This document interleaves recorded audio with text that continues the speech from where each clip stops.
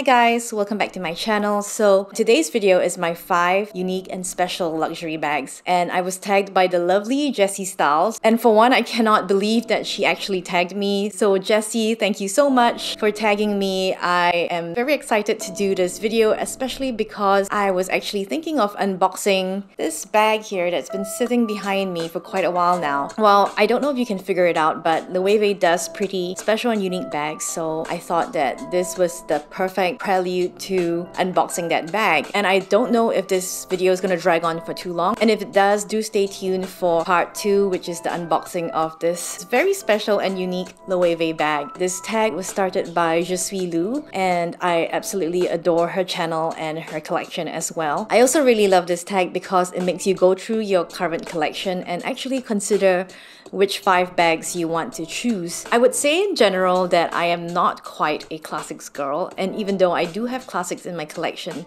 I tend to have a lot of limited edition bags as well. So in the spirit of what I have in my collection, I am going to exclude all my Hermes bags because Currently, all the Hermes bags that I have I consider extremely classic. Even the brightly colored blue Birkin that I just revealed on this channel recently, I would consider that as a classic bag. Just because I have a lot of unconventional bags, I am just going to focus on the bags that I have that are special and unique in the sense of being decorated, ornamented, and just bags that tend to push the boundaries of this category. And I don't think that I have the most out there bags I'm not an extremist, but neither am I a complete conformist either. I do think that I have a huge variety of bags and I know it's time for me to downsize, but this year has not been the market for me to downsize in and I'm more than happy to hang on to my bags for the time being and just wait it out. So for the first bag that I consider special and unique, I immediately thought of this bag here. And I guess it's pretty self-evident why I would consider this bag special and unique. Not only is it special because it's my first Fendi bag, it is also my first bag with any kind of exotics on it. With this water snake skin, I know it's a pretty delicate skin as the scales over time do tend to delaminate and start to flip out. So I do have to be very careful with this bag. On top of that, it is heavily ornamented with what I call snowflakes, even though they are not snowflakes, but I like to think of this bag as my snowflake Fendi bag. And I absolutely love the crystal detailings here. There's a very nice mix of crystals and beading that's going on in each of these very unique patterns. And this is part of the Fendi's 25th anniversary of the Baguette collection that they released late last year, I believe. And I bought it in January this year. And I do think that this definitely is considered as a special and unique bag. Now, second on this list that I immediately thought of is this bag here. So I do have quite a few pieces from the various LV summer releases. And if you guys have been following LV for the past years, you realize that LV actually has been releasing a lot of colorful bags and not to everybody's taste, unfortunately. But this was one of the very first few summer collection bags that they did release. I just fell in love. This is the Escale on the go GM size with these other pastel petal pop kind of colors done in this tie-dye version. This was released in the year 2020 and that was the beginning of this whole period of time during the lockdown when everybody was kind kind of like having this tie-dye craze and I was definitely sucked into it. I had quite a few pieces from the Escale collection. So I had a baby around that period of time and I definitely used this bag a lot.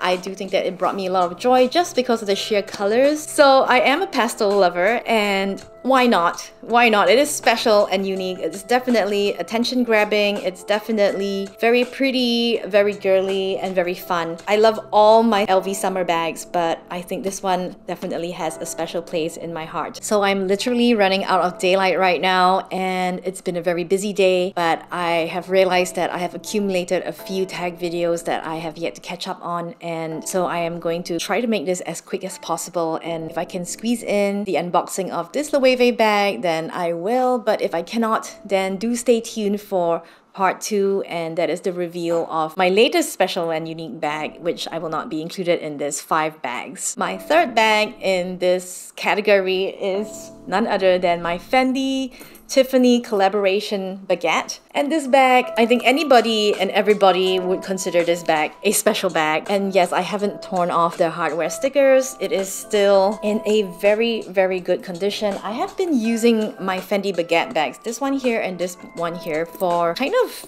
ridiculous everyday errands actually even though they're special and unique bags that I initially thought I would carry only on special occasions. But I find that the form factor for Fendi baguettes lends itself well to a everyday bag. So I could be literally wearing t-shirts and denim shorts and carrying this baguette just running out to get my lunch. And I think that you know what? I'm just enjoying my bags. I'm living my best life. So I definitely don't think that you have to to wait for a special occasion to use your special and unique bags. This bag is more fuss free because it is this very smooth calf skin. I am careful not to scratch it up, but at the same time, I do use it pretty often and it's kind of bore up pretty well with my daily life. I haven't actually examined the hardware too much and I do think it looks a bit dirty.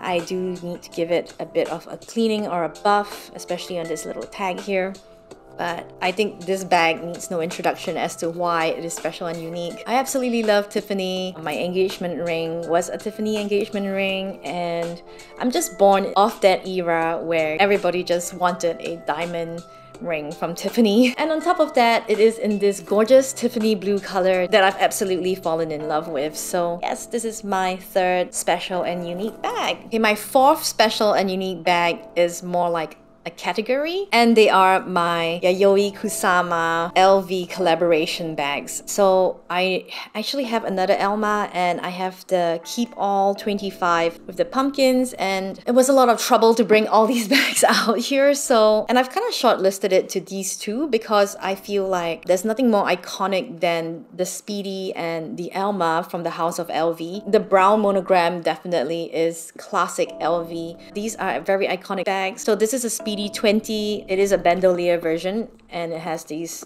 D-rings here to carry as a strap. And this is an Alma BB size. And I don't actually use these two bags very often, mostly because of the vachetta leather and mostly because I've been on this Fendi Hermes kick lately, but I know that because these are classic forms, I will always have a place for these bags in my collection. They are special and unique because it is Yayoi Kusama, it is literally art on a bag and I have a great, great love for Louis Vuitton. I guess if I really had to pick one, I would pick the Speedy over the Alma, even though this is more special and unique in that it's not as common. And I think that most people did get the pumpkin version. So this fish and faces collection isn't as popular and it makes it more special and unique in that sense that it's more un uncommon. But I do think that there is something to be said for the iconic quality of the Speedy bag with the iconic Yayoi Kusama pumpkin artwork. And this to me is the best marriage of what is iconic from the artist and the fashion house. So my fifth special and unique bag is actually this bag.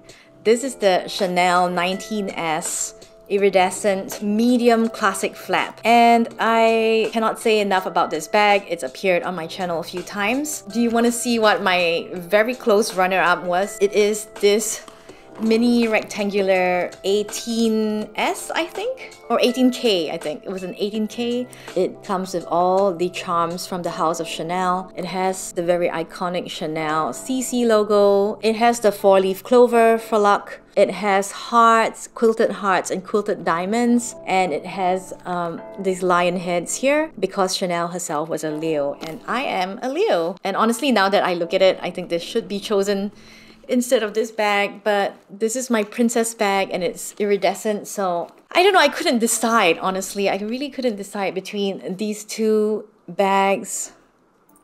Maybe this bag wins, so I would say this bag for my Chanel category of special and unique bags. So that's it for my special and unique bags. So I think this is a good stopping place because I'm running out of daylight and I'm running out of time too. I have to get the kids to dinner. I hope you enjoyed this very quick tag video and I hope that you guys stay tuned for the next few tag videos that I am going to put out. So if you want to stay tuned and see what's inside here, please consider subscribing to my channel if you haven't already and ring my bell so you'll get notified when I put out my next video. So do give me a thumbs up if you like this video or leave a comment to say hi and let me know what your special and unique bags are. And I would like to tag anybody who watches this video and feels like doing it. I am going to leave a bunch of names in the description box down below. Do feel free to participate in this tag. I think it's a very fun way for everybody to get to know each other. Until next time, I'll see you guys. Bye!